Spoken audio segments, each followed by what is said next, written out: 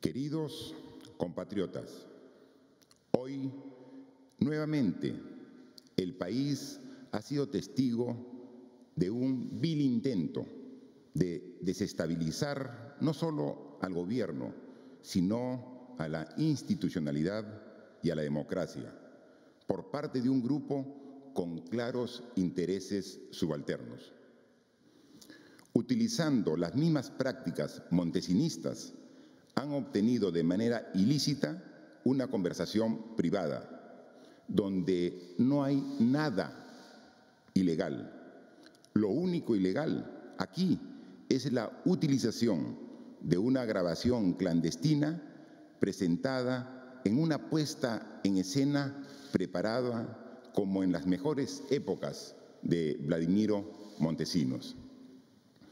Con la misma objetividad y seriedad con la que siempre me he dirigido al pueblo peruano, no voy a negar la conversación, pero fueron coordinaciones internas que se hacen en cualquier institución. Una forma de esclarecer lo que estaba ocurriendo en el marco de las investigaciones. En dicha reunión, debo reafirmar, señalé, digamos la verdad. La gran pregunta que debemos hacernos es, ¿cuáles son aquellas fuerzas que pudieron cruzar la seguridad de Palacio para grabar ilícitamente las conversaciones de un presidente de la República? ¿Quiénes están detrás de esto y cuáles son sus intereses? ¿Se puede permitir esto en una democracia? Cada vez que tuvimos que escoger para la toma de nuestras decisiones entre el beneficio de la población y el interés de grupos políticos o económicos, siempre optamos por el interés de la población. No nos tembló la mano cuando promulgamos la ley antimonopolio, la ley de medicamentos genéricos, la de los octógonos, o cuando constitucionalmente disolvimos el Congreso.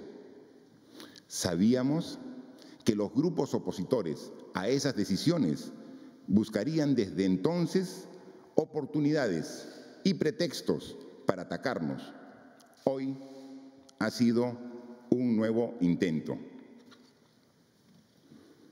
Debo informar al país que el 29 de julio, un periodista de prensa extranjera nos hizo llegar la información de la existencia del audio que han sacado hoy.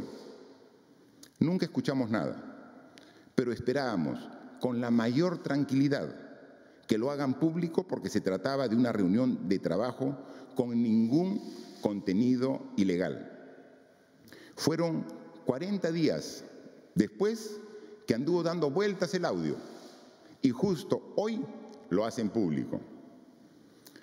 Todo esto es una patraña que busca desestabilizar la democracia para tomar el control del gobierno, para permitir la reelección de los congresistas, postergar las elecciones y garantizar su triunfo electoral.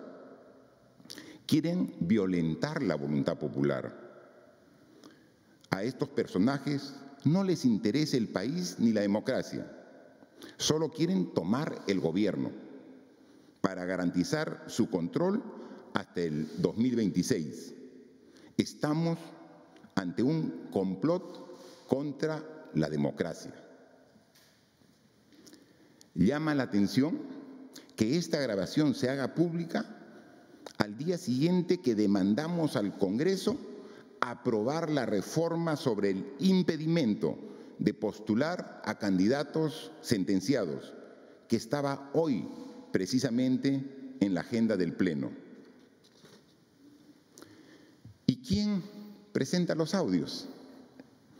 El mismo personaje convertido hoy en congresista, al cual la Fiscalía ha solicitado levantarle la inmunidad parlamentaria para continuar con las investigaciones pendientes por presuntos delitos de enriquecimiento ilícito, peculado doloso, omisión de funciones y falsificación de documentos. Esos audios han sido editados y manipulados maliciosamente y como pueden apreciar, buscan adrede convertir un reclamo laboral en un hecho delictivo o político, queriendo sacarme palabras fuera de contexto y pretender acusarme de situaciones inexistentes. Nada más lejos de la realidad. Asimismo, una vez más, tenemos declaraciones imaginativas que colindan con la literatura fantástica.